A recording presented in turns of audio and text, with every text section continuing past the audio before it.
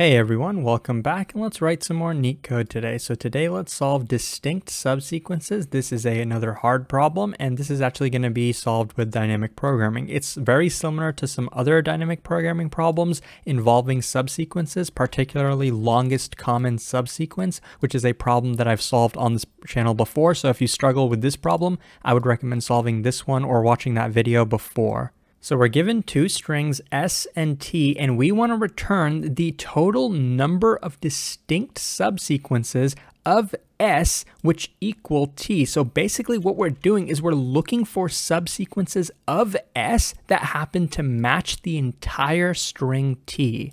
And if you don't remember what a subsequence is, basically for, let's say this string, a subsequence is just a subset of some particular characters. So basically maybe we don't want to include the B, we don't want to include the D. So this happens to be a subsequence ACE, right? A, C, E. This one is not a subsequence because it's not in the correct order of these. You can't change the relative order of characters in a subsequence. So we're given an example S and T. So basically these are both rabbit, just spelled a little bit differently, right? This one has an extra B in it. So how many different subsequences of this string S can we take that exactly match this string T? Well, let's look character by character. So let's start at the first character of this, the first character of this. They exactly match each other, right? So, okay, that's good. So now we're going to look at the sub problem, right? We found these two match exactly. Now, how many different ways can these subsequences match each other? Now, how many ways can we get this string? How many subsequences of it can we get that match now the remainder of this string? Now we see, again, both of these characters are A, so so far they're exactly matching each other, that's good. And we get to a B, these B's match each other, that's also good. So, so far we're getting pretty close to getting a subsequence of this to exactly match this, right? We only have to match three more characters. We see another B, that's good.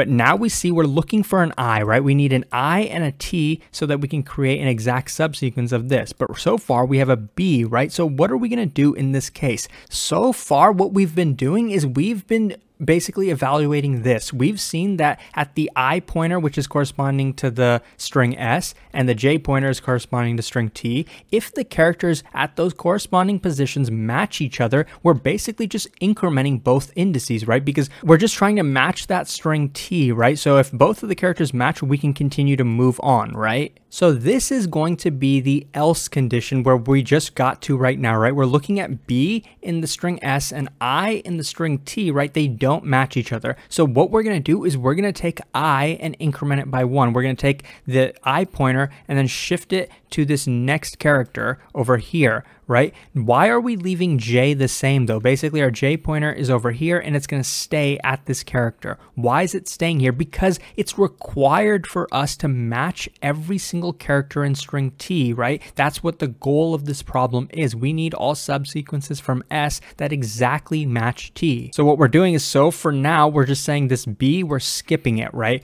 Now we're gonna look at the next character. Maybe there's some ways that we can match the remainder of this string to this string. Okay, so now our I pointer is at this character I, our J pointer is at this character I. So in this case, the characters do match each other. So what are we gonna do? Similarly to what we did before, we're gonna increment both indices by one. We can move to the next position. So we're at this character now in S, we're at this character now in T. Once again, these characters exactly match each other right? So once again, we're going to take both pointers and shift them by one. Now we get to a base case, right? Both strings are empty.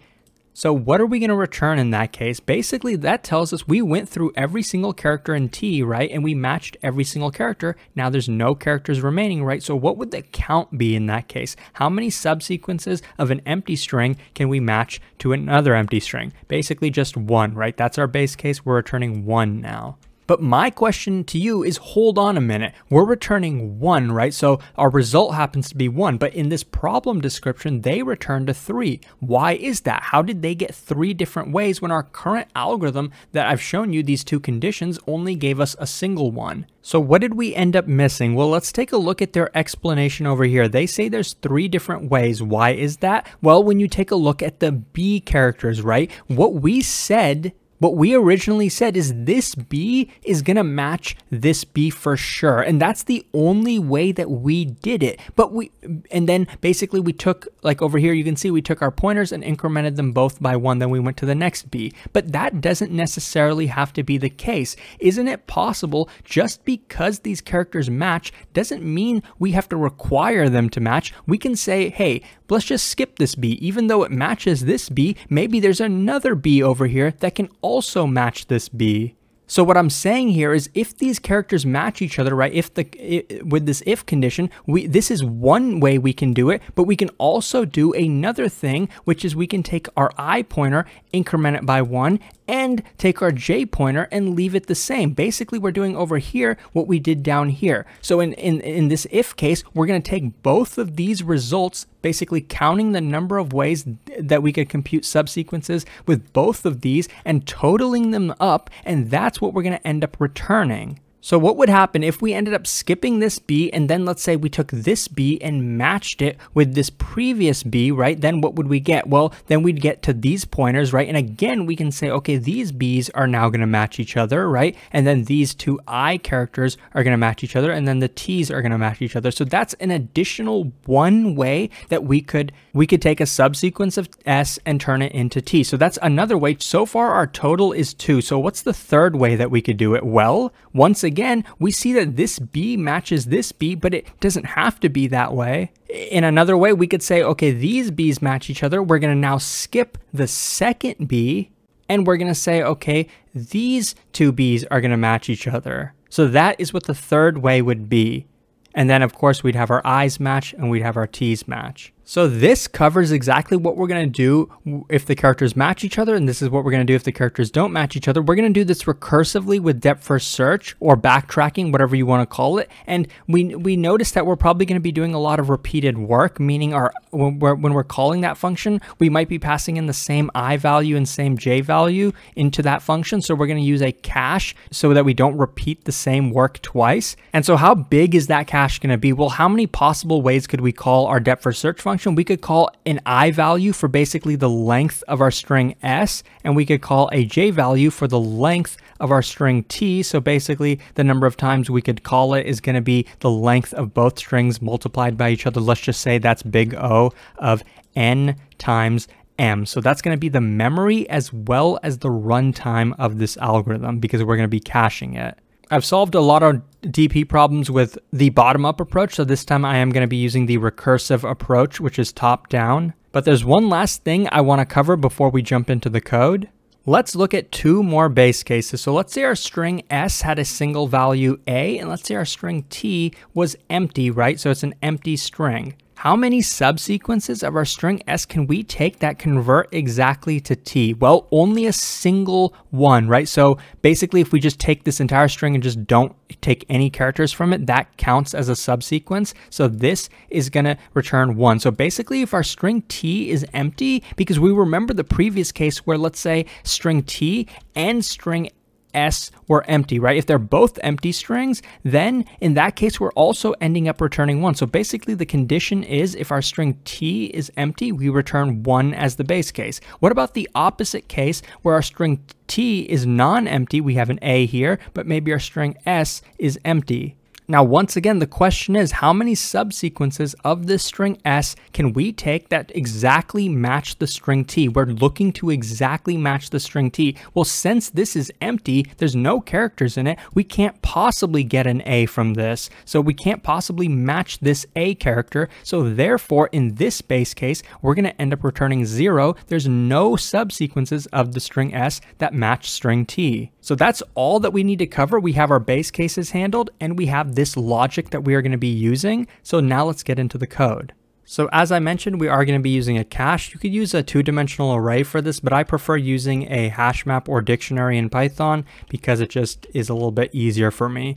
So we're going to be passing two parameters, i and j, which tell us the corresponding positions of string s and string t that we're currently at.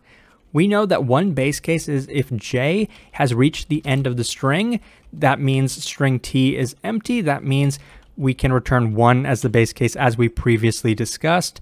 The other base case is if we reach the end of string s, and that means we can't possibly match the string t anymore, so we're going to return 0 in that case. Last base case is if this ij pair has already been computed in our cache. If that's the case, then we can return the value that is stored in our cache. So then we remember there's two cases for the logic that we have to cover. So if S of I matches exactly T of J, then we know we're going to be running depth first search. We're going to be doing it two different ways. We're going to be looking at the remainder of string S and the remainder of string T. And we're going to also be calling depth first search with the remainder of string S, but the entirety of string t. So we're going to be incrementing i, but not incrementing j in this case. And we're going to call both of these and total up the result. And then once that has been totaled, we can return it. But before we return it, we want to make sure that we cache it. So let's put it in the cache at position ij. The else condition is basically the same thing as this, except I'm going to copy paste it so except this portion, right, since these characters don't match, we have to only shift our I pointer. We still have to look for a character that matches the character at position J. And once either of these has been computed, then we can return whatever value we ended up storing in our cache. And this is the entirety of the depth first search function. Pretty short because we didn't have to pass in a lot of variables into it because I defined this function inside of another function. That just makes things easier for me. So now all we have to do is call it. So let's call depth first search starting at 0, 0 for both of the beginning of the strings, and then we return the result. So this is going to be big O, n times m, basically multiplying the length of the strings together, time and memory complexity. I hope that this was helpful. If it was, please like and subscribe. It supports the channel a lot, and I'll hopefully see you pretty soon. Thanks for watching.